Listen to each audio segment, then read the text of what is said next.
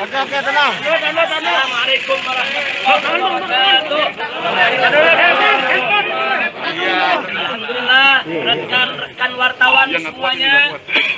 Hari ini dengan izin Allah Subhanahu wa taala saya bisa hadir di Polda Metro Jaya untuk mengikuti pemeriksaan sesuai dengan aturan perundang-undangan yang berlaku.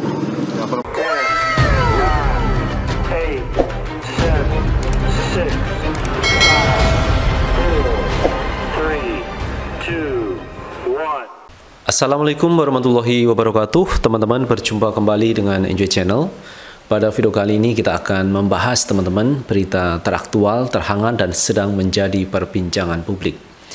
Kali ini yang akan kita bahas masih mengenai Habib Rizik Sihab Sebagaimana kita ketahui bahwa kemarin pihak kepolisian sudah menetapkan Habib Rizik sebagai tersangka kasus kerumunan yang ada di Petamburan. Karena kalau kita melihat teman-teman bahwa memang Habib Rizik mengadakan kegiatan menikahkan putrinya dan kemudian ada kegiatan peringatan Maulud Nabi Muhammad Shallallahu Alaihi Wasallam. Dan inilah yang akhirnya menjadi masalah karena dianggap melanggar protokol kesehatan. Dan kemarin juga pihak Pemda DKI Jakarta ini sudah melakukan denda kepada Habib Rizik karena dianggap melanggar protokol kesehatan. Dan ditambah kemudian pihak kepolisian ini mentersangkakan Habib Rizik siap. Dan memang pertama kedua undangan ini disampaikan kepada Habib Rizik supaya datang ke Polda Metro Jaya, namun Habib Rizik belum bisa datang pada waktu itu. Dan akhirnya pihak kepolisian ini menetapkan Habib Rizik dan hari ini Habib Rizik datang ke Polda Metro Jaya. Namun sebelumnya teman-teman, sebenarnya Habib Rizik itu kooperatif. Ini yang disampaikan Habib Rizik bahwa beliau mau datang pada hari Senin. Jadi Senin tanggal 14 ya, tanggal 14 Desember. Tetapi karena pihak kepolisian ini e, menyampaikan bahwa beliau posisi tersangka, maka hari Sabtu ini beliau datang ke Polda Metro Jaya. Nah, teman-teman, untuk lebih jelasnya, coba kita lihat apa yang disampaikan Habib Rizik e, sebelum beliau datang ke Polda Metro Jaya pada hari Sabtu ini. Assalamualaikum warahmatullahi wabarakatuh. Kepada segenap rakyat dan bangsa Indonesia yang saya cintai. Semoga kita tetap selalu uh, menjaga protokol kesehatan, tetap selalu berupaya secara bersama-sama mengatasi pandemi yang sedang melanda kita punya negeri. Insya Allah Allah angkat segera uh, pandemi yang terjadi saat ini. Amin ya rabbal alamin. Nah kepada seluruh masyarakat dalam kesempatan ini saya ingin menyampaikan hal yang saya pandang uh, amat penting sekali berkaitan uh, berkaitan dengan status saya sebagai tersangka di Polda Metro Jaya. Nah, yang ingin saya sampaikan di sini adalah pertama bahwa saya tidak pernah lari apalagi sembunyi. Sekali lagi saya ulangi, saya tidak pernah lari dan tidak pernah sembunyi. Karena selama ini pada proses pemulihan, uh, saya lebih banyak duduk di Pondok Pesantren Alam Agrokultural Markas Syariat Megamendung. Karena di pesantren ini uh, udaranya sangat asri, segar, jadi untuk pemulihan uh, luar biasa bagusnya. Sekali-sekali saya turun ke Petamburan, saya turun ke Sentul untuk menengok anak dan cucu. Jadi bagian pertama yang ingin saya tekankan adalah saya tidak pernah lari apalagi sembunyi dari panggilan eh, polisi. Yang kedua, yang kedua saya juga tidak pernah mangkir dari panggilan Polda Metro Jaya. Nah, kenapa saya katakan saya tidak pernah mangkir?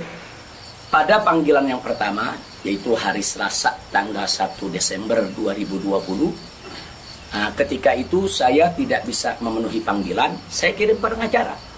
Pengacara datang ke sana, bertemu dengan penyidik, menyampaikan surat secara resmi, minta penundaan, dan alhamdulillah penyidik bisa memahami dan menerima. Nah, akhirnya sepakat bahwa saya eh, diundurkan untuk panggilan yang yang kedua. Nah untuk itu saya apresiasi, saya hargai eh, sikap penyidik yang sangat kooperatif, sangat baik. Terima kasih. Nah kemudian pada panggilan yang kedua, yaitu pada hari Senin tanggal 7 Desember 2020, Nah, ketika itu saya melihat posisi eh, pemulihan kita memang masih perlu perlu apa namanya perlu eh, penambahan sedikit waktu. Dan lagi-lagi eh, saya tidak mangkir tapi saya kirim pengacara saya bertemu kembali dengan para penyidik.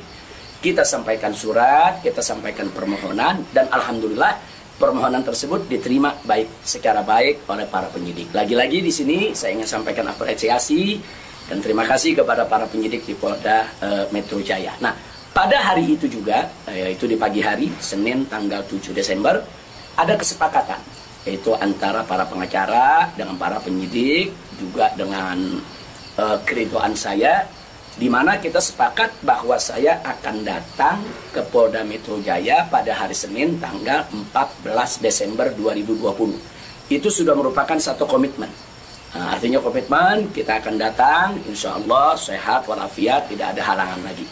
Nah ini yang perlu yang perlu kita sampaikan dan komitmen ini kita jaga betul uh, karena saya akan selalu memegang komitmen dengan pihak mana pun kalau kita sudah membuat satu kesepakatan, satu perjanjian. Nah karena itu di sini yang perlu saya sampaikan juga pada hari yang sama yaitu pada tanggal 7 di hari Senin tersebut secara mengejutkan sebagaimana kita tahu semua di mana di siang hari Bapak Kapolda Metro Jaya mengumumkan tentang uh, tragedi penembakan enam uh, laskar FPI yang selama ini setia mengawal saya. Tentu ini satu satu peristiwa sebetulnya tidak ada sangkut paut dengan soal panggilan saya. Maka itu pada pagi hari itu saya tetap kirim pengacara, saya tetap mengurus urusan panggilan karena memang kita tidak pernah sangka kalau penembakan itu berkaitan dengan uh, Polda Metro. Karena saat itu kami masih mengira kalau itu adalah orang tak uh, dikenal. Nah, ala kulihal uh, setelah itu yang mengejutkan kami pada hari Kamisnya, pada hari Kamisnya yaitu tanggal 10 Desember 2020, secara tiba-tiba uh, Polda Metro Jaya mengumumkan saya sebagai tersangka. Ya tentunya saya para pengacara semua terkejut karena dua panggilan sebelumnya itu uh, saya masih berstatus sebagai saksi dan itu pun belum sempat diperiksa. Rencana pemeriksaan tanggal 14 Desember itu hari Senin yang yang akan datang ini.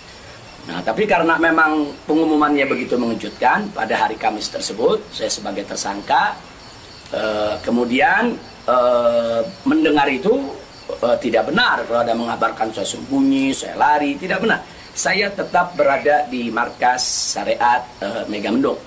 Nah, begitu hari Kamis ada pengumuman semacam itu, Jumat pagi tanggal 11 Desember. Itu kita kirim lagi para pengacara untuk bertemu dengan penyidik. Dan Alhamdulillah terjadi pertemuan dengan penyidik. Nah, ditanyakan oleh para pengacara bagaimana komitmen yang hari Senin, tanggal 14, apa itu batal atau bagaimana?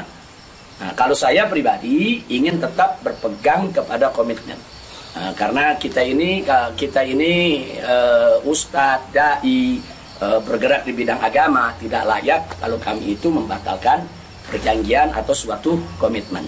Nah kita jawaban uh, kita dapat jawaban dari dari para penyidik. Uh, dari para penyidik kelihatannya uh, mereka tidak mau menunggu sampai hari Senin. Mereka minta lebih cepat. Nah pada saat itu juga para pengacara minta kepada para penyidik ya HP berisik siap dipanggil kapan saja tapi tolong surat panggilannya dibuat. Surat panggilan sebagai tersangka. Kami tidak pernah terima. Nah, kami tidak pernah terima. Tapi kelihatannya para penyidik agak keberatan untuk mengeluarkan surat tersebut nah, akhirnya terjadi kesepakatan kalau begitu cobalah eh, bagaimana caranya supaya Habib bisa lebih cepat lah ke ke ke Polda Metro Jaya Uh, jadi artinya mereka tidak tidak tidak tidak mau melanggar komitmen juga karena memang komitmennya pada tanggal 14 siap diperiksa. Nah, saya kata kita katakan melalui pengacara kami bukan orang-orang yang suka ingkar janji, bukan orang-orang yang suka mengingkari komitmen yang ada. Tapi karena memang Polda Metro Jaya meminta lebih cepat, lebih baik menurut beliau, saya terima. Nah karena itu pada malam ini saya umumkan untuk seluruh yaitu anak bangsa, insya Allah besok hari Sabtu tanggal 12 Desember 2020 di pagi hari saya bersama pengacara akan datang ke Polda Metro Jaya. Insya Allah. Nah, jadi saya mau menunjukkan bahwa kita tetap punya komitmen untuk menjadi warga negara yang baik, untuk patuh hukum, untuk ikut melaksanakan daripada prosedur hukum yang ada. Nah itu teman-teman yang disampaikan oleh Habib Rizik Sihab sebelum beliau datang ke Polda Metro Jaya. Dan teman-teman bisa menyimpulkan sendiri apa makna yang disampaikan oleh Habib Rizik Sihab. Nah teman-teman kalau kita berbicara tentang kerumunan, apa sih makna kerumunan itu? Kalau kita lihat teman-teman di Kamus Besar Bahasa Indonesia, kerumunan itu adalah pengumpulan orang atau sebagian orang secara tidak beraturan dan bersifat sementara. Jadi orang berkumpul kemudian tidak beraturan dan sifatnya itu sementara itulah kerumunan itu menurut definisi dari Kamus Besar Bahasa Indonesia. Jadi kalau ada orang berkumpul tidak beraturan inilah yang disebut dengan kerumunan. Dan kalau kita melihat teman-teman di gambar ini pun kita juga lihat ketika Habib Rizik ini datang disambut dengan banyak wartawan, ini saya pikir juga merupakan kerumunan karena kalau kita lihat kamera teman-teman, ini saling berdekatan. Kalau sudah berdekatan seperti ini kan berarti tidak menjaga protokol kesehatan. Artinya mereka berkumpul beberapa orang atau sebagian orang yang tidak beraturan dan sifatnya sementara. Ini sebenarnya saya melihat kalau menurut Kamus Bahasa Indonesia ini sudah tergolong kerumunan karena sudah banyak orang ini.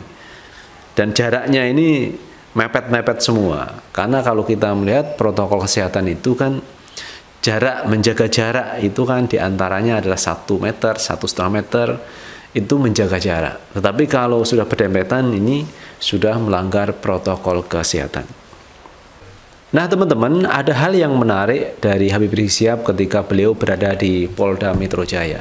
Jadi ketika beliau datang ke Polda Metro Jaya, beliau dipersilahkan masuk. Kemudian proses selanjutnya adalah pemeriksaan, pemeriksaan swab antigen. Jadi Habib Rizik ini di swab teman-teman, swab antigen dan ternyata hasilnya negatif. Jadi kalau yang selama ini beredar bahwa Habib Rizik Sihab ini kena COVID, bahkan ada yang mengirimi karangan bunga, di situ tertuliskan Habib Rizik terkena COVID-19. Ternyata setelah di swab antigen Habib Rizik ini negatif. Jadi artinya Habib Rizik tidak terkena COVID-19. Jadi fitnah selama ini terbantahkan sudah bahwa Habib Rizik saat ini sehat tidak terkena COVID-19. Kita lihat beritanya terkait Habib Rizik di swab teman-teman. Ini kita ambil dari CNN Indonesia. Habib Rizik lakukan tes swab di Polda Metro Jaya sebelum diperiksa. Nah ini teman-teman. Jadi sebelum diperiksa ini di tes swab. Pentolan FPI Habib Rizik Sihab melakukan tes swab virus corona di Polda Metro Jaya sebelum diperiksa sebagai tersangka kasus kerumunan. Berdasarkan foto yang diterima cnnindonesia.com, Habib Rizik terlihat duduk dalam suatu ruangan didampingi Sekum FPI Munarman. Di depannya tampak ada dokter polisi yang mengenakan baju hazmat berwarna putih dan berbagai alat tes swab yang berada di atas meja. Kapitumas Polda Metro Jaya Kombes Pol Yusri Yunus mengakui bila pihaknya melakukan tes swab antigen terhadap Habib Rizik. Hal itu dilakukan sebagai prosedur protokol kesehatan sebelum dilakukan pemeriksaan. Jadi sebelum ada pemeriksaan, beliau e, dites swab, teman-teman. Kemudian tindak lanjut yang kita lakukan sekarang adalah kita lakukan prokes swab Ya, swab antigen, kata Yusri kepada wartawan Sabtu 12 Desember 2020. Yusri pun memastikan hasil tes swab Habib Rizik digelar di Polda Metro Jaya negatif. Kini Habib Rizik tengah menjalani pemeriksaan sebagai tersangka. Negatif hasilnya, sekarang sedang menjalankan pemeriksaan sebagai tersangka. Itu teman-teman, hasil tes swab yang selama ini diributkan oleh banyak orang bahkan fitnah yang ditujukan kepada Habib Rizik eh, mengenai apakah Habib Rizik itu kena COVID atau tidak ternyata setelah di swab hasilnya negatif jadi terbantah sudah yang selama ini memfitnah Habib Rizik bahwa Habib Rizik terkena COVID-19. Ternyata semua terbantahkan dengan tes swab yang dilakukan di Polda Metro Jaya. Itu teman-teman yang bisa kita sampaikan hari ini dan bagaimana menurut pendapat teman-teman silahkan tulis di kolom komentar karena komentar teman-teman akan sangat bermanfaat untuk yang lain. Dan terakhir, jangan lupa tetap like, subscribe, share, dan komen di channel ini agar kita bisa membangun channel ini menjadi lebih baik lagi. Sukses selalu. Assalamualaikum warahmatullahi wabarakatuh.